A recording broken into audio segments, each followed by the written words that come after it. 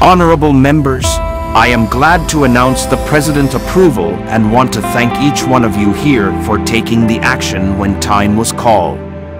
It's official. We are now members of the BRICS economic bloc.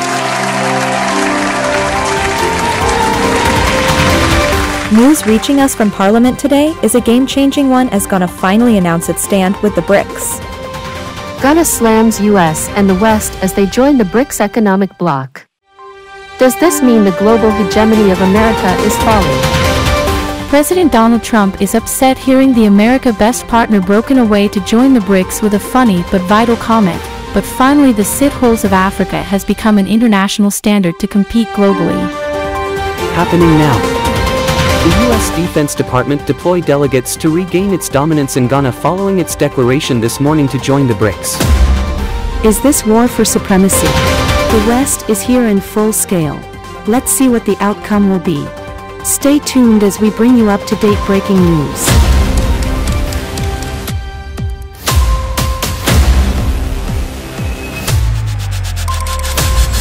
I'm sorry to interrupt, but we need to talk.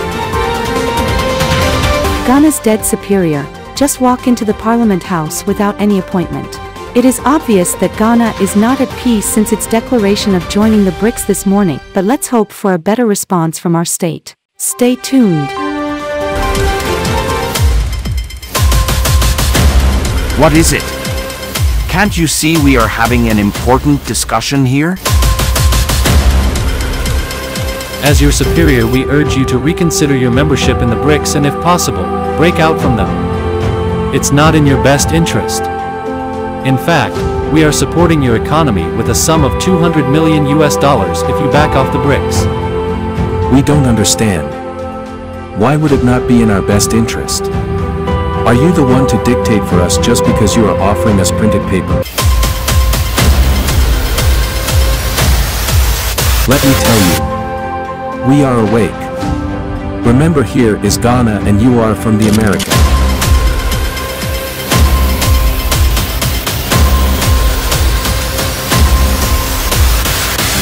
Come on it hasn't reached to that pace. As your superior we want you to know that the BRICS is a competitor to the US, and that we are afraid we US and the West economic interest is under threat here in Ghana.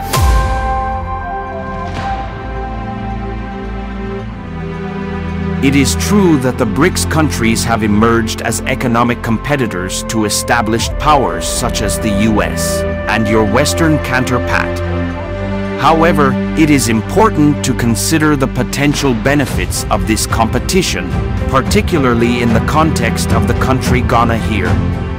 The BRICS countries have shown significant economic growth in recent years and have become important trading partners for many countries in the region, which includes my motherland Ghana. This has created new opportunities for economic growth and development, particularly for countries that have traditionally been reliant on a narrow range of exports or industries.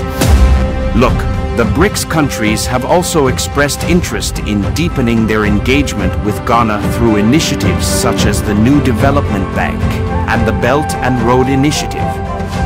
These initiatives have provided new sources of financing and infrastructure development that have played a major in support to our economic growth and regional integration.